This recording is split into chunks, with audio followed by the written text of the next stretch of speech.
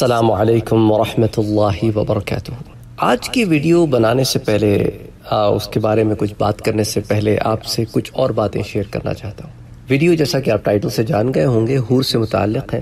تو جب میں حور کا بیان کرتا ہوں، تو خواتین کی طرف سے اسپیشلی کرٹیسزم آتا ہے کہ آپ کیا صرف حور ہی کے بارے میں بیان کرتے رہتے ہیں۔ دراصل مسئلہ کیا ہے کہ انفارچونیٹلی شاید وہ شاید حور ہی کے ویڈیوز دیکھتی ہیں۔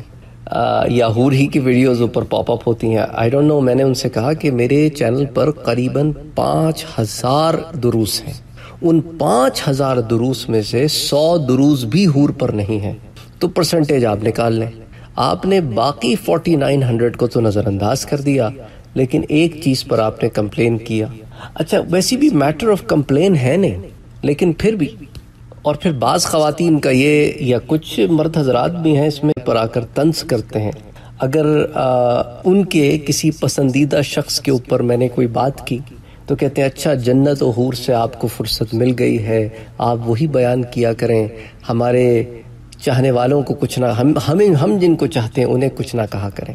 مثال کے طور پہ انجینئر صاحب وغیرہ پر جب میں نے ویڈیوز بنائی تھی تو وہ بڑے تنزیہ انداز میں انہوں نے، حالانکہ جنت کا بیان بھی قرآن و سنت کے مطابق ہوا ہے، حدیث نبوی، قرآن کی آیات اور حور کا بیان بھی اسی طرح ہوا ہے۔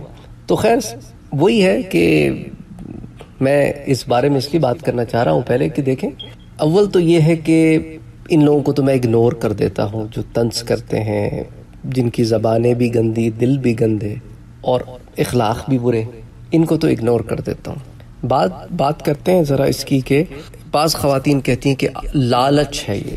یہ لالچ نہیں ہے، یہ بھی ایک نیگیٹو کونوٹیشن ہوتی ہے کونوٹیشن ہوتی ہے۔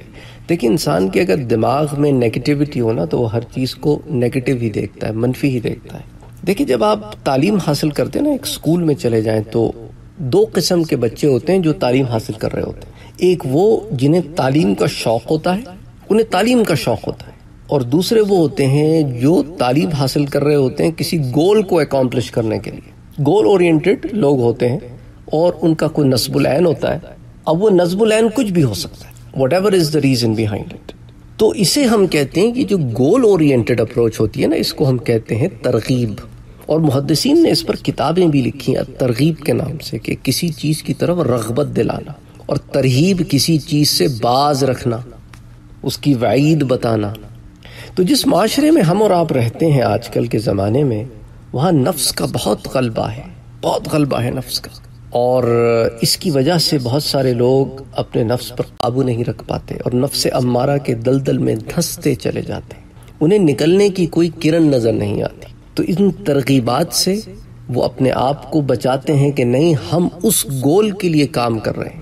بعض لوگ مجھ پر، مجھے اعتراضی کمنٹس بھی نیچے لکھتے ہیں، ارے آپ تو بڑی سطحی باتیں کرتے رہتے ہیں اللہ کی رضا کے لیے عمل ہوتا ہے، نہ حصول جنت کے لیے، نہ حصول حور کے لیے۔ اس کو بھی میں پہلے ایکسپلین کر چکا ہوں۔ وہی تعلیمی ادارے والی اگزامپل سے سمجھاتا ہوں کہ ہر بندے کا تھاٹ پروسیس الگ ہوتا ہے۔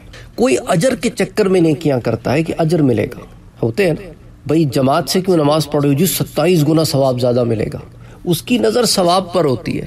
اور اسی مسجد میں کوئی ایسا بھی ہوگا، وہ تم تم جماعت سے کیوں نماز پڑھ رہے ہو؟ کہ میرے رب کو یہ زیادہ پسند ہے میرے رب کو یہ زیادہ پسند ہے۔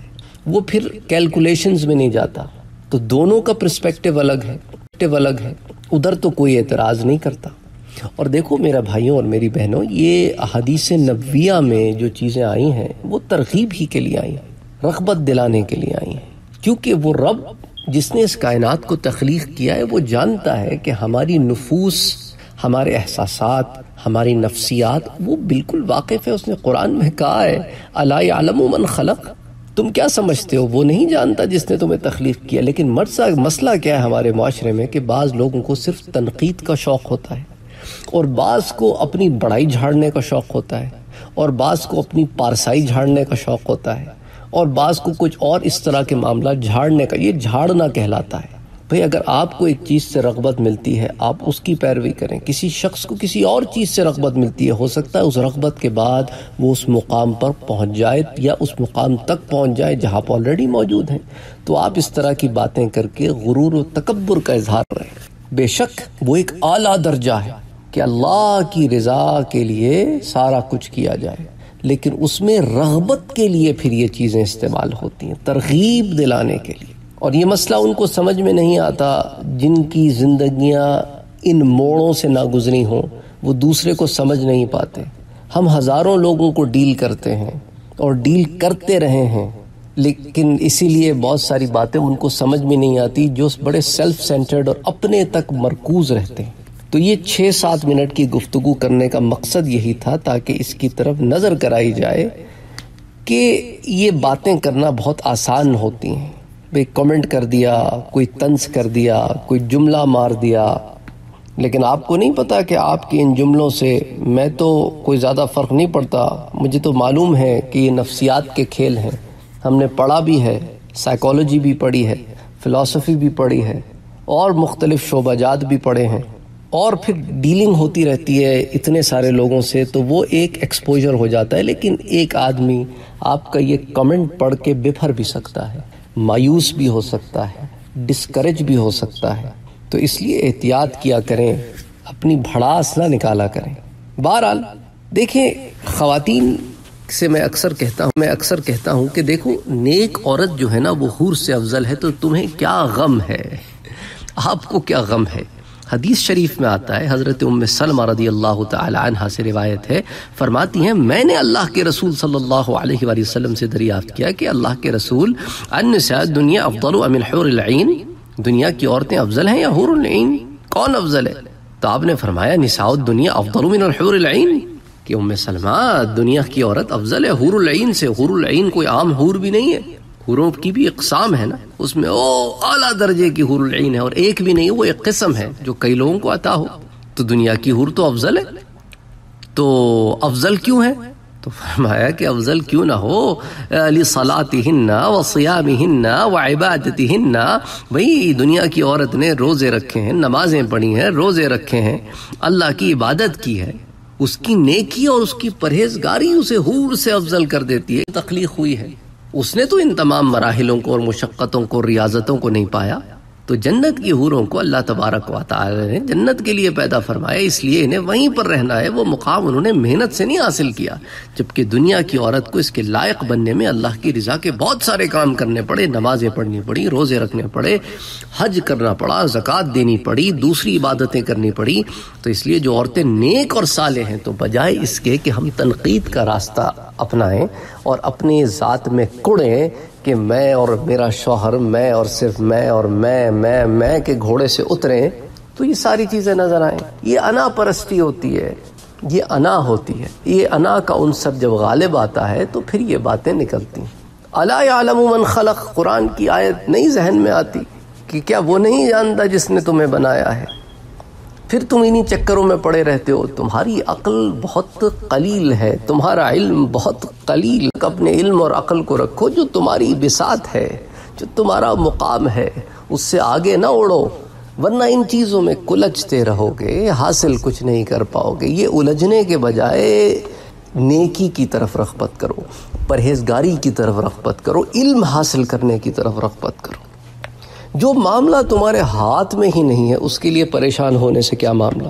تو اس لیے حضور نے فرمایا کہ دنیا کی جو پرہیزگار، نیک عورت ہے، وہ حوروں سے افضل ہے اور وہ بہترین جنتی عورت ہے۔ اس دنیا میں عبادتوں کا مقصد ہے کہ نا، حدیث سے معلوم ہوتا ہے کہ اللہ تعالیٰ نے عبادتوں کا حکم ہمیں اپنی بارگاہ میں بلند ہونے کے لیے دیا ہے۔ اور عبادت، جیسا میں نے آپ کو بتایا، اجر و ثواب کے لیے کچھ کرتے ہیں۔ کچھ صرف رضا کے لیے کرتے ہیں، اجر و ثواب پر ان کی بالکل نظر ہی نہیں ہوتی، اور جو اجر و ثواب کے لیے کرتے ہیں، وہ بھی اللہ کی رضا کے لیے کرتے ہیں، اللہ کے لیے کرتے ہیں، ورنہ تو ریا ہو جائے گی۔ اللہ کے لیے کرتی اللہ کے لیے کرتے ہیں۔ اللہ اکبر اللہ اکبر۔ کوشش کر رہا ہوں کہ کسی طرح یہ بات سمجھ میں آ جائے۔ بہت سارے لوگ سوالات کرتے ہیں، کچھ لوگوں نے انہیں یوں بھی الجھا دیا کہ بھائی پھر عورتوں کے لیے کیا ہے؟ مردوں کے لیے تو ہو رہے ہیں۔ اس پر بھی میں نے بڑی تفصیل سے آپ سے آپ کے ساتھ بات کی ہے، شیئر کیے ہیں معاملات۔ حرنعین پر بھی بات کی ہے۔ تو اصل مقصد کیا ہے؟ پرہیزگاری، نیکی، اچھائی، گناہوں سے بچنا۔ اس کو اس اینگل سے دیکھیں نا کہ ایک مرد چاہے ترغیب سے یا ترہیب سے یا اللہ کی خالصتاً رضا کے لیے کسی بھی وجہ سے ان گناہوں سے باز آ جاتا ہے کہ غیر کی طرف نگاہ نہیں کرنی، غیر کو نہیں دیکھنا۔ تو at the end of the day فائدہ کس کا ہو رہا ہے؟ عورتوں کا۔ ان کی عزت و عصمت کی حفاظت ہو رہی ہے، معاشرہ ایک اچھا معاشرہ بن رہا ہے۔ وہ معاشرے میں گھر سے باہر نکلتے ہوئے ان کو خوف نہیں ہے کہ کوئی انہیں چھیڑے گا، کوئی تنگ کرے گا، معاذ تنگ کرے گا، معاذ اللہ کوئی اور اوچھی حرکت کرے گا۔ ایک اچھا معاشرے کی ترغیب ہوگی نا، کیونکہ اس شخص کی نظر آخرت پر ہے۔ وہ کہے کہ بھئی یہ گناہ نہیں کرنا، میں نے ادھر بلند مقام حاصل کرنے۔ تو ایونچولی ایک اچھا معاشرہ پیدا ہو رہا ہے۔ اچھا حضرت ابو سعید خدی رضی اللہ تعالی عنہ سے روایت ہے کہ حضور صلی اللہ علیہ وآلہ وسلم نے ارشاد فرمایا کہ سب سے ادنا جنتی کو اسی ہزار خادم اور بہتر حوریں دی جائیں گی۔ یہ ایک روایت اس زمن میں یہ بھی آتی ہے۔ بعض اور تعداد کی روایتیں بھی موجود ہیں۔ بڑی تفصیل سے میں نے آپ سے اس بارے میں ذکر کیا۔ لوگ یہ بھی سوال پوچھتے ہیں نا، ایک روایت میں آپ نے یہ بتایا، ایک میں یہ بتایا، یہ وہ مراتب ہیں۔ مختلف درجات ہیں، مختلف مراتب ہیں۔ اس کے لحاظ سے مختلف انعامات ہیں اور عطیات ہیں۔ کہیں جنتی کو اسی ہزار خادم ہیں، کہیں اس سے زیادہ ہیں، کہیں مختلف مقامات ہیں۔ اچھا حضرت سعد ابن ابی وقاص رضی اللہ تعالی عنہ سے ایک روایت ہے کہ حضور نے فرمایا صلی اللہ علیہ وسلم کہ اگر جنتیوں میں سے کوئی شخص دنیا کی طرف جھانکے اور اس کے کنگن ظاہر ہو جائیں تو اس کی روشنی سورج کی روشنی کو مٹا دے جیسے کہ ستاروں کی روشنی سورج کو کی ستاروں کی روشنی کو سورج مٹا دیتا ہے۔ تو یہ احادیث نبویہ میں یہ تو حسن و جمال جنت کا حسن و جمال ہے، جو مرد و زن دونوں کو عطا ہوگا ان کے ان کے لحاظ سے۔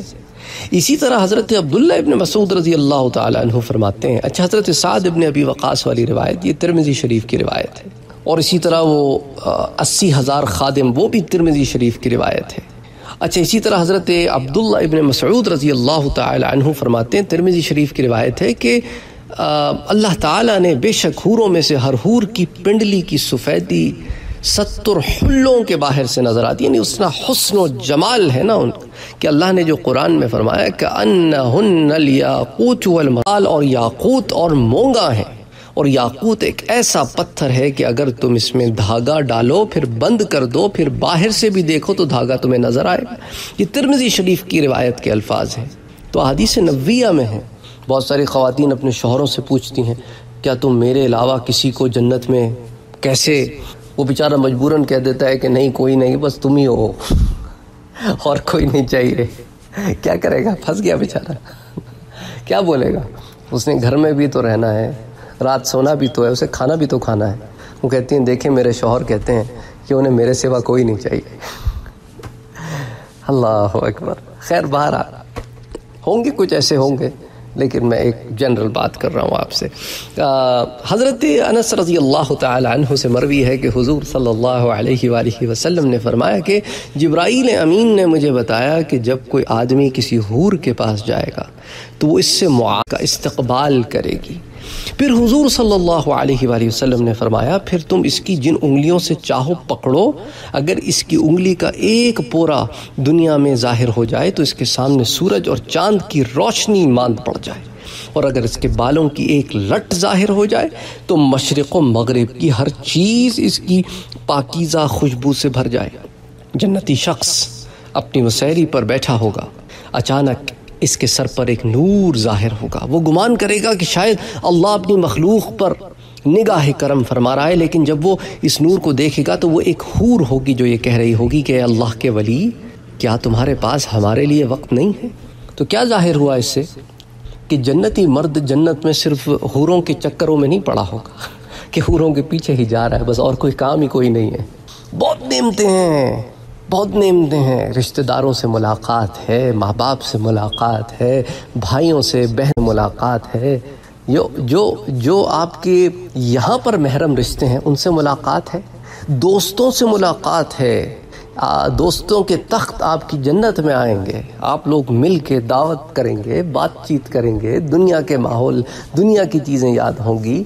بیوی کے ساتھ وقت اچھا بتائیں گے۔ اچھا بیوی کا اپنا، اپنی اس کی جنت، اس کے، اسی مقام میں، اسی لیول میں میاں بیوی میں سے جس کے جس کا مقام زیادہ بڑا ہوگا نا، جو زیادہ اعلیٰ مقام پہ ہوگا، وہیں پر اس کے دوسرا بندہ بھی لے آیا جائے گا۔ یعنی کہ اگر شوہر بیوی سے اعلیٰ مقام کا ہے تو بیوی کو پروموٹ کر کے اعلیٰ مقام میں لے جایا جائے گا۔ اسی طرح اگر بیوی شوہر سے اعلیٰ مقام میں ہے، تو شوہر کو پروموٹ کر کے بیوی کے ساتھ کر دیا جائے گا۔ تو اس لیول میں بھی بیوی کی اپنی جنت ہے، اس کے اپنے انعامات ہیں، اس کے اپنے محل ہیں، اس کی اپنی خادمائیں ہیں، اس کی اپنی مصروفیات ہیں۔ اس کی اپنی دوستیں ہیں اس کی اپنی دوستیں، ہیں؟ تو اس لیے دیکھو، حور کہہ رہی ہے، کیا ہمارے لیے وقت نہیں ہے؟ جنت کی نعمتوں میں مصروف ہو، ہمارے لیے وقت نہیں ہے؟ اور اتنی حسن و جمال والی، وہ پوچھے گا، ارے تو کون ہے؟ جو اتنا حق جتا رہی ہے، جو پوچھ رہی ہے، تو ہے کون؟ وہ کہے گی، میں ان حوروں میں سے ہوں جن کے بارے میں اللہ عز و جل نے فرمایا قرآن کریم میں، وَنَدَيْنَا مَزِيد۔ اور ہمارے پاس اس سے بھی زیادہ ہے سورہ قاف کی آیت ہے۔ پھر وہ اس کی طرف رخ کرے گا تو دیکھے گا کہ اس کے پاس جو حسن و جمال ہے، وہ پہلی حوروں میں نہیں۔ پھر جب وہ اس حور کے ساتھ اپنی مسحری پر بیٹھا ہوگا تو اسے ایک اور حور پکارے گی۔ اے اللہ کے ولی، کیا تمہارے پاس ہمارے لیے وقت نہیں؟ تو بہرحال کہنے کا مقصد ہے، بڑی طویل روایت ہے، پہلے بھی آپ سے ذکر کر چکا ہوں۔ کہنے کا مقصد ہے کہ انعامات میں سے ایک انعام ہے۔ کسی کو، اسی کو اس انعام سے رغبت ہوتی ہے۔ اس انعام کے حصول میں ہوتا ہے۔ کوئی کسی اور انعام کے حصول میں ہوتا ہے۔ کوئی چاہتا ہے کہ میرے محل ہوں بڑے بڑے جنت میں۔ یہاں پر تو چھوٹا سا گھر ہے، لیکن اس میں شکر اور صبر کے ساتھ رہ رہا ہوں کہ وہاں اللہ مجھے محل عطا فرمائے گا، کئی محل دے گا۔ ہر محل میں خادم ہوں گے، وہاں کسی کو کھانے پینے کا شوق ہے۔ کہتا ہے وہاں ٹکا کے کھائیں گے، دبا کے کھائیں گے۔ مسئلہ ہی کوئی نہیں، نہ موٹے ہوں گے، نہ ڈائٹنگ کی ضرورت ہوگی۔ اپنا اپنا شوق ہے۔ کسی کو کوئی اور شوق ہے۔ اور ان تمام شوقوں میں سب سے اعلیٰ وہ ہیں جس طرح اعمال میں ہے نا، جو خالصتاً اللہ کی رضا کے لیے عمل، اور اسی طرح ان کا سارا شوق یہ ہے کہ ہم جنت میں رب کا دیدار کریں گے۔ ان کے سارے شوق کا محور بس یہی ہے۔ حضور صلی اللہ علیہ وآلہ وسلم کی معیت حضور کا پڑوس، جنت الفردوس، اور رب کا دیدار۔ اس کے علاوہ انہیں کچھ نہیں چاہیے۔ حور سے بھی مطلب نہیں اور قصور سے بھی مطلب نہیں۔ قصور جو ہے نا، وہ قصر کی جمع ہے۔ قصر عربی زبان میں محل کو کہتے ہیں۔ تو نہ انہیں حور سے غرض ہے، نہ قصور سے غرض ہے۔ انہیں صرف دیدار رب سے غرض ہے۔ مقامات ہیں نا۔ تو بہرحال، آج کا جو بیان ہے، وہ ذرا ڈفرینٹ اسی لیے ہے کہ میں چاہ رہا تھا کہ ان تمام چیزوں کو ایک ساتھ ذرا ڈیل کر لیں۔